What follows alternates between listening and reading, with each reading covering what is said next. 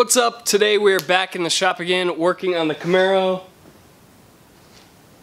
which isn't here because it's at my dad's house because it's his car. But uh, we're still working on the car. We just have parts here. So I read your guys' comments um, about everything that you guys wanted to see done to this car and your ideas on everything and I think we've sort of come up with a general game plan. So to start we're thinking we're actually going to keep a small block Chevy, convert it to manual, and boost up the power a bit, uh, shooting for the at least 350 uh, horsepower range. We also want to do a lot of suspension work, so we've been looking at like the Hotchkiss Stage 1 uh, suspension setups with some nice sticky rubber. We're trying to keep this whole thing on a pretty tight budget, um, so that's our reasoning for sticking with a small block, but we're probably going to go with a T5 transmission so that if we ever want to LS swap it, all we have to do is swap bell housings and you know all the other work and stuff. But thinking about everything, we decided to call this car the Project Mullet because you have to have a mullet if you're going to drive that car, otherwise you're doing it wrong. But uh, yeah. we want to do some fun things with this car though, not just do a generic run-of-the-mill uh, build. We want to do some, you know, more custom stuff. So I've got one of the fenders here today, which is actually a bad fender. Um, it was in an accident, has all sorts of dents and stuff, and if they were expensive, we tried to recover it, but these are only like 150 bucks for the repop ones. So, so I pulled this off the car um, to do some experimentation with. Uh, we'd like to do fender flares on this car, and I uh, was thinking about doing them out of fiberglass, but we decided to try to do them out of steel. And since this is essentially a scrap fender, since it's getting replaced anyways, I'm going to try to make a flare on this. Um, well, not make a flare. I'm going to try to flare this fender uh, and see if I can get it to work. If I can get it to work and it looks good, then we're going to do them to the reproduction ones. Um, so it's all perfectly straight sheet metal. So this is sort of the start of the build. We're going to be doing this to all four uh, quarter panels if I can figure out a way to get this to work. I've got a couple ideas. Um, so I'm going to try to do it out of steel first, just sheet metal. If I fail on it, I'm going to try to put the fender back together uh, the way it was originally as much as I can and then try to do it out of fiberglass. So let's get started. So this fender is huge and here's my idea for it. Um, essentially I want to make an incision, a cut along, uh, right along this body line where it goes flat, right above it. Okay, all the way around until about I'm even with this side on here.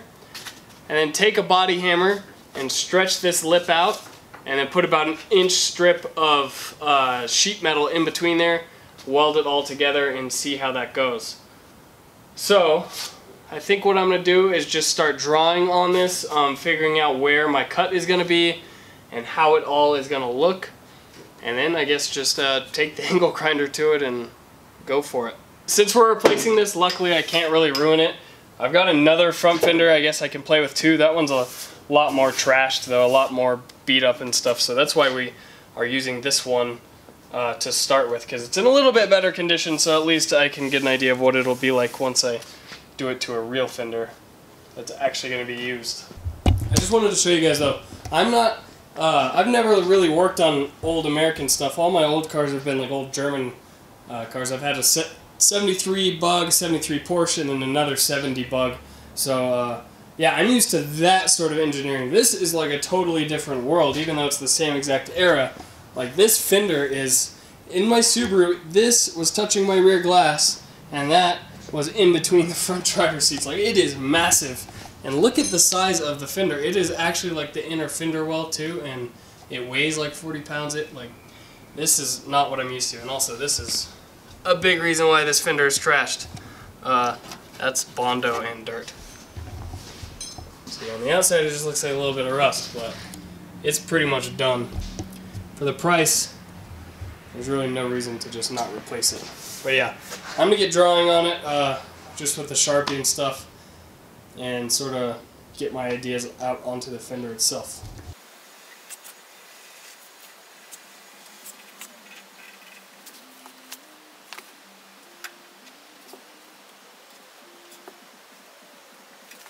So sort of have my line drawn out where I want to cut it. The whole idea behind doing it this way is that it will be uh, subtle, but give us, you know, quite a bit more Um, I'm not comparing myself to the Ring Brothers whatsoever, but I don't know if you've seen some of their body panels that they do on like old Mustangs or even old Camaros, but uh, their flares are super subtle and they look amazing and you can't sort of you sort of can't pinpoint why they look so good and that's sort of what I want to go for on this versus like the Porsche is obviously has you know ridiculous over the top flares. I want this to look like stock to someone who doesn't really know. This is gonna be like by far the most important part of this process in terms of making it look good because if the cut is jagged then it won't be a straight flare so I'm gonna focus I'm gonna hold my hands nice and still and hope that it uh, comes out okay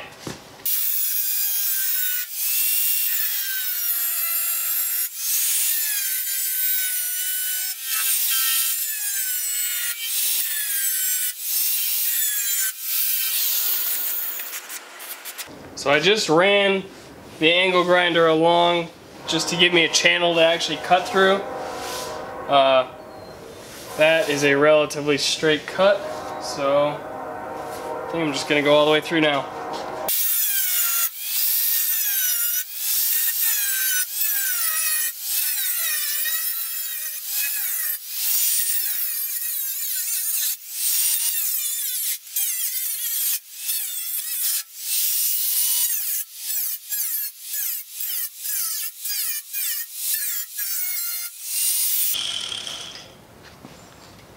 So that actually worked pretty decently.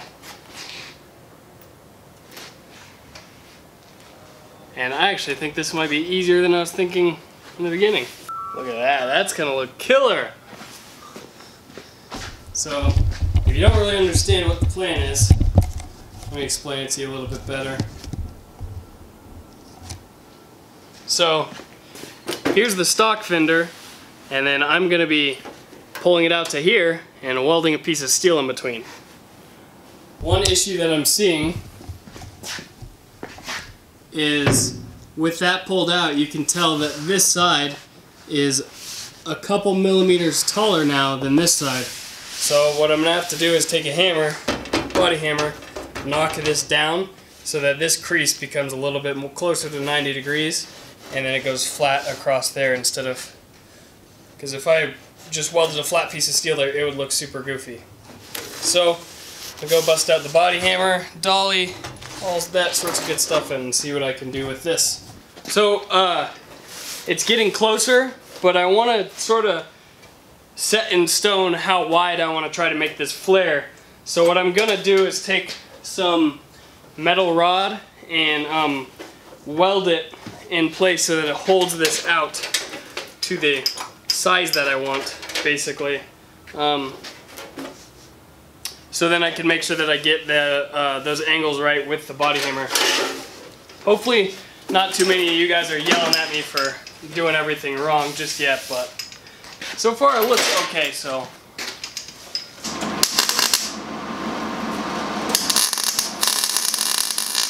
Alright, so there are my supports. I've got, actually let me measure it.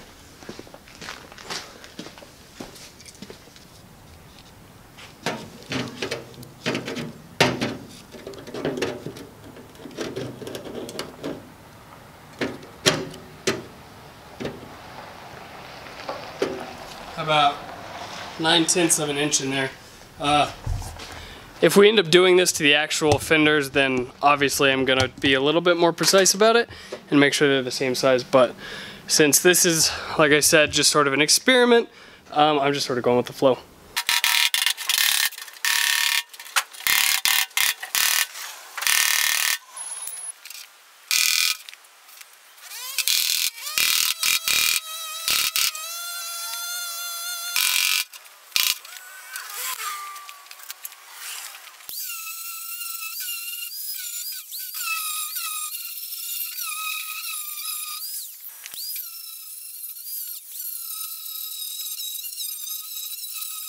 So the battery on my camera died, uh, but I wasn't really doing much of anything exciting.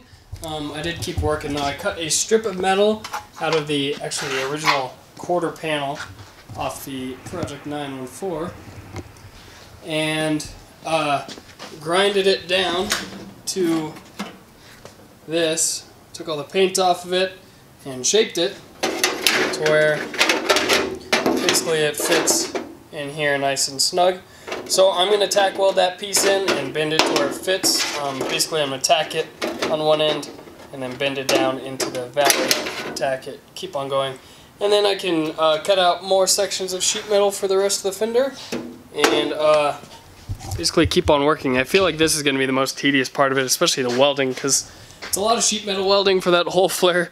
Two uh, basically lines all the way across and have to keep it from warping and also I have to grind it all down afterwards so this should be fun.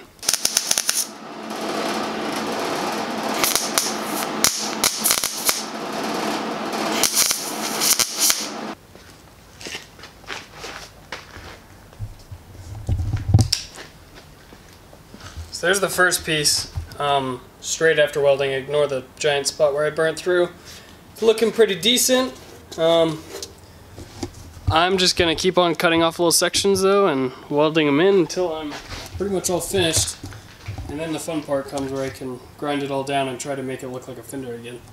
Alright, so I have all the steel in the fender, so I thought I'd show it to you guys before I um, start welding it all up.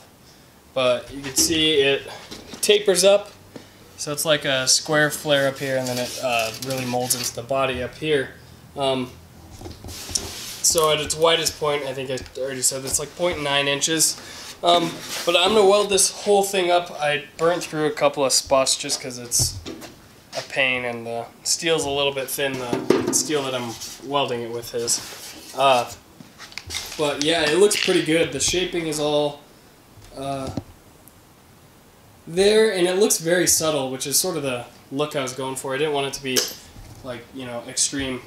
I wanted it to look relatively stock. So I'm going to throw some weld on those and then uh, once I'm done with that I can just grind them down and start doing like the, I, I'm not going to do like final body work but I'll just sort of shape it and make it look okay.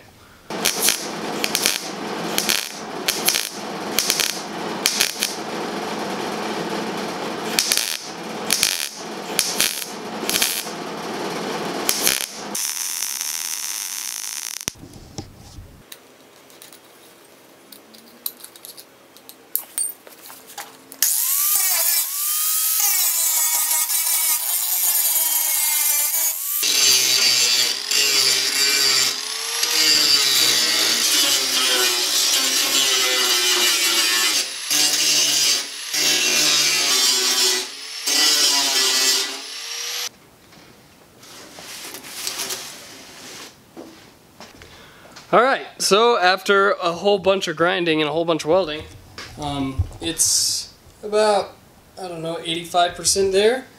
Um, the shape is all good, and I, I'm actually pretty happy with it. So it like flares out right here versus before it only came out of the very top above this body line.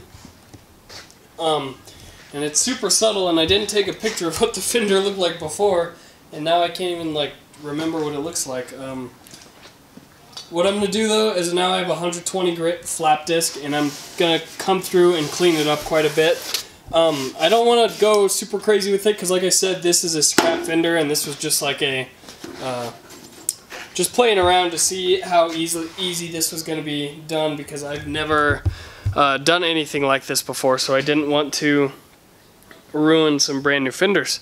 But I'm going to hit it with flap disc and then paint it a little bit and see how it comes out.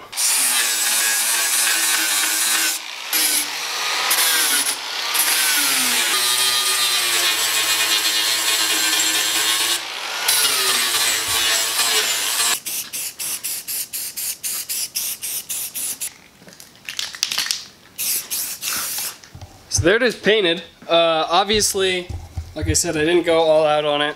You can still, oh, breathe in the fumes. You can still see like uh, where I welded and that's the edge of where the paint was ground off and stuff. So I just sort of wanted to see the shape and this helps you see the shape a bit better if I come down on the front.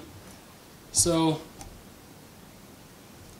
this was never there. This was even basically with this up here. So it's wider by like like I said, almost a whole inch at the top. And I am sort of in love with the way it looks. A little more work with the flap disc and then some sandpaper and stuff and I could get this looking perfect. But like I said, this is sort of just an experiment to see if I was even capable of doing something like this. And I think this sort of confirms that I probably am able to. Because, um, I mean, maybe another hour's worth of work and it would be pretty close. And then, you know, some body filler and stuff and it'd look great. So I am super happy with how this turned out. This is going to be the end of today's video. Uh, I don't really have much else going on today, so I'm just to head out. Thank you guys so much for watching. Leave a like down below. Um, leave a comment if you, uh, let me know if you like the way these look or if you think they look tacky or whatever. I'm curious to see what you guys think. I think they look pretty good because they are sort of subtle and not, uh, not 1980s fender flare. Those are, you know, you know I'm talking about? The real round, ugly ones. They don't look like those, so I'm happy about that. Um, subscribe if you want to see more videos like this, and that's going to be it. Thank you guys so much for watching. Have a good one. Peace out.